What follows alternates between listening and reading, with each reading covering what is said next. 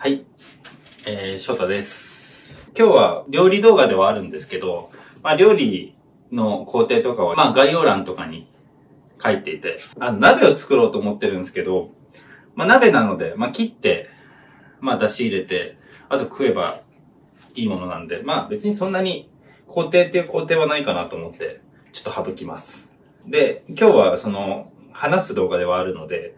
で、聞き取りづらい場所とか部分もあると思うので、字幕は全部載せてるので、そこをオンにして見てもらえたらいいかなと思います。今日は何の話をしようかというと、今8月じゃないですか。8月って言ったら僕の、僕がちょうど、えっ、と、家を出てから丸11年経つんですね。で、えっ、と、僕今27なので、で、11年経つっつったら、まあ、16歳で家出たんですけど、そう、えっ、と、2011年の8月、うんと、1日か2日か、あ、1日かな ?1 日に家を出て、ちょうどそれから丸11年経って、まあ、その時の話とか、まあ、そこから11年どう経ったのかって、結構濃い11年だったなって僕の中では思ってて、で、それの話をちょろちょろしながら料理を作れたらなと思います。まあ、まずなぜその16歳で家を出ることになるかっていうと、まあ、遡ると、その、まあ、小さい時から遡らないと、なんかその話はできないなと僕は思ってて。えっと、まあ、親はもともと二人ともいるんですけど、母親と二人で暮らす時間の方が長くて、で、えっと、まあ、父親ももちろんあの、生きてはいるんですけど、あんまり一緒に住んだことはないんですけど、で、僕の覚えてる限り、結構、なんていうのかな、感触持ちというか、結構切れる父親で、例えば、あの、当時、今 DVD とかあるけど、あの、僕の小さい時って VHS って言って、あの、ビデオカセットですね。それがあったんですけど、それで、えっ、と、カッとなって、投げつけられて、頬に当たって大泣きしてたりとか、あとは、ペットボトル500ミリのペットボトルを顔に当たってない、なんか僕泣いてた記憶があったりとか、あとは、結構怒りやすくて、で、布枕をビリって、普通多分ビリって破けないと思うんですけど、ビリって 破けるような父親だったの、結構切れる方だったので、まあなんかそれからまあ一緒に住むことはなかったんですけど、で、まあどっちかっていうとその母親と二人の時間が長くって、で、小中で、まあ二人で暮らしてたんですけど、で、まあ、天気というか、いろいろ変わったのは、僕の高校1年生の時なんですけど、高校1年生の時がちょうど、えっ、と、その3月に、えっ、と、地震が起きるんですね。東日本大震災。で、僕は別に、あの、震源地の東北出身ではないんですけども、親が、まあ、旅館とかで働いてる方だったので、大打撃を受けるわけですね。で、そこから仕事がなくなるんですけど、で、もともと、まあ親もそのパートとかで会社に社員として属したことがない人間だったので、結構キツキツな暮らしを小さい時からしてたんですけど、で、そうなるとやっぱ、もともとキツキツで暮らしてそれで高校とかも進学したわけなので、結構もう、親も仕事なくなったらもう、通えなくなるんですね。で、まあ、そういうこともあって、じゃあ、その、15歳、高校1年生の時に、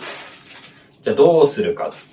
もうお金がなさすぎて一緒に住めないか、それかなんか父親のところに行くかみたいな二択の選択になって、父親のところに行くならば別に学校も、まあ、無理してでも通えるし、みたいな。で、それかもう家出るかの二択になったんですね。で、まあそう二択になるんだったら、もう、父親とのもいい関係ではなかったので、で、結局、まあ家を出ることを僕は選んだんですけど、まあそういう経緯があって、家を出ることになったのが16の夏ですね。まあ、ここまで話しといてあれなんですけど、別にそれをなんか重く見てる方が捉えてほしくはなくって、なんかまあそういうことがあったよみたいな感じなんですけど、まあ結局、そう、家を出ることになって一人でそこから、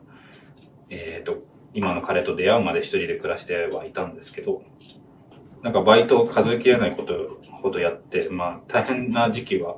あって、で、僕このまま、なんかその、あ、もう絶対グレるだろうなって思ったんですね。その時。まあ16で一人で出て、親もいなくて、仕送りも全くもらってなかったので、絶対なんか悪い方向に行くだろうなって自分で察してはいたんですけど、まあでもなんかそういう勇気もなくって。で、あの、まあ17歳の時に、まあ、一人暮らし始めて1年ちょっと過ぎた時ぐらい、あ、1年経ってないや。まあ半年ぐらいの時に、なんかもうこのまま僕何もなく、ないな、この先って思って、このまま生きててもどうしようもないし、もう暗いニュースばっかりだったので、その時も。もうこの先もう僕って何もないんだって思って、まあ、そこからなんか、あの、電源のコードで首つったりとか、そういう、あの、自暴自棄時期になった時もあったんですけど、まあでも、まあそれも 失敗して、で、その後僕、料理の学校に通うんですけど、まあ学校も別に正直どこでもよくって、自分の中で。なんか、学生生活を送りたかったので、どこかしら行きたいなと思ってたんですけど。で、えっと、調理師学校はその1年で卒業できたし、まあ、料理って生涯役立てるものだから、まあ今だって役立ってるので、でそれで、まあそういう学校を行くことに決めて、まあ自分でお金稼いでで、学費払ってみたいな生活を、で、入学したんですけど、まあそこからまあいろいろ、そこからの話もいろいろあるんですけど、まあ まああんまりね、いろんなとこで結構喋ってはいるので、長くなるなとは思う 思うんですけど。で、そこから10年、11年か、経って、まあ、なんだろうな。なんか、何？あんまちょっと、その、重く捉えないでほしくて、僕の中で。まあそういうことがあったのは事実なんだけど、別にそれを悲しんでたりとか、そういうふうに僕は思ってなくて。今、まあ、それこそ今だから言えることではあるんですけど。まあなんかそういうのもすべて、なんか素敵な思い出って言い切れはしないけど、まあ、経験として良かったなって僕の中では思ってて。なんか15歳ぐらいの時に、例えば10年後、25歳になった時、自分はどうなってるかとか、いろいろ考えて、なんかそういう時になんか自立してたいとか、そういうふうに考えてて。まあ、今は動画制作だったりとか、一人で仕事してるので、実質まあ一人社長ではあるんですけど、まあその夢は叶えられてて、なんか、まあ、なるようになったなと僕の中では思ってて。で、それが、今があるのはそういう経験があって悔しさとか、辛さとか自分の中でそういうのがあったからこそ乗り越えられたものというか、叶えられたものではあるので、なんか、まあ、結果的にまあ良かったのかな、そういう経験はっていう、あったりするんですね。で、まあ、それから、まあ、いろいろ、まあ、あって、まあ、20代になるんですけど、そこから彼に、今の彼ですね、に出会うんですけど、まあ、どういうあれだったかな。まあ、仕事、その時って仕事が忙しかったりしてたんですよ。あの、飲食店で働いてたんですけど。まあもうその時になってるとなんかもう10代でいろんな経験をさせていただいたので、なんかもう、あんま、その、人に対しての信用とかっていうのは自分のなく、中ではあんまなく、結構やっぱりその、学校辞めてからその、周りの仕打ちとかは結構ひどかったものもあるので、なんかあんま信用できないとこはあったんですけど、まあでも、彼と出会って、すごく良かったなと僕は思ってて、こんなに優しい人がいるんだなって僕、思ったんですね。なんか変な人だけだと思ってたから 人間って変な人だけだと思ってたので その時まではね。でもそうやって出会って、すごく良かったなって僕の中で思ってて。で、彼と出会って、いや、まあすぐ同棲始めて、まあ1年経って、で、パートナーシップ先生が東京の中野区でできるようになって、で、今の彼とパートナーシップ先生をして、で、そこから YouTube をすぐ始めてっていう感じではあるんですけど、まあだから、あれよなと思って、なんかまあ何が起こるかわからないなって 思って、で、今は、ペットの持ち丸もいて、こういう家に住めてですね、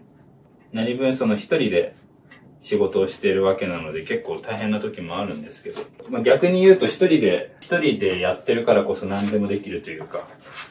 自由にはできてて、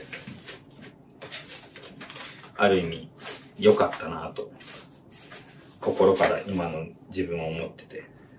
僕が今思うにはなんか結構いろんなことってどうにでもなるなと思ってて、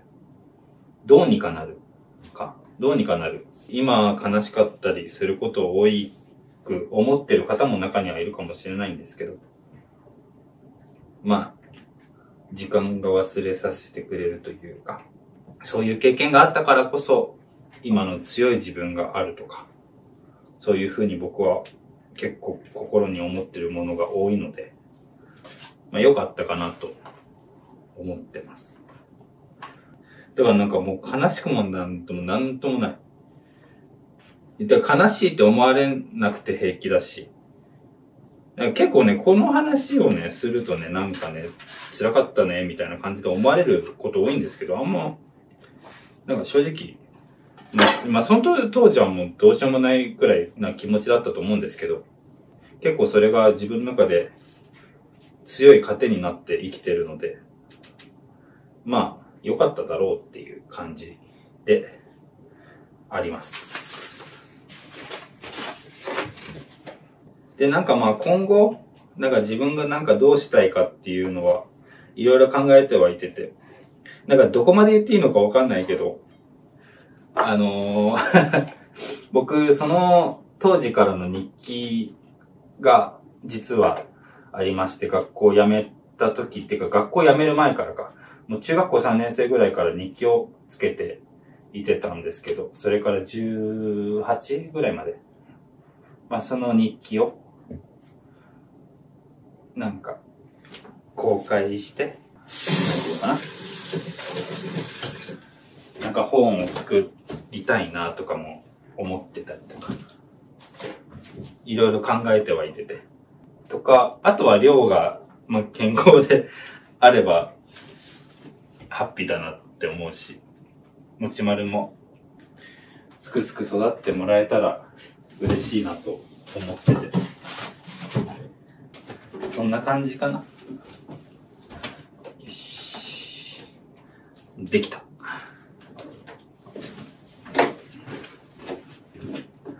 じゃん。はい。まあ、なんていうのかな。絶望をする時間が結構僕の中で長かったんですけど、まあ、なんていうのかな。どんなことでもいいので、別に生きてたらいいことも結構そのうちやってくるというか、そういうふうに僕は思えてるんですね。今思えば。で、結構その辛い時期とかそういう時期の糧って結構自分の中で大きいなと思ってるので、まあ生きてたらどうにでもなるというか、別に生きてる理由なんていらなくって、生きてるだけで最高なんで、今辛かったりそういう人って多分結構中にはいると思うんですけど、まあ、なんていうのかな。そういう時は、まあコメント欄とかに書いてもらってもいいし、あの、インスタとかの DM は、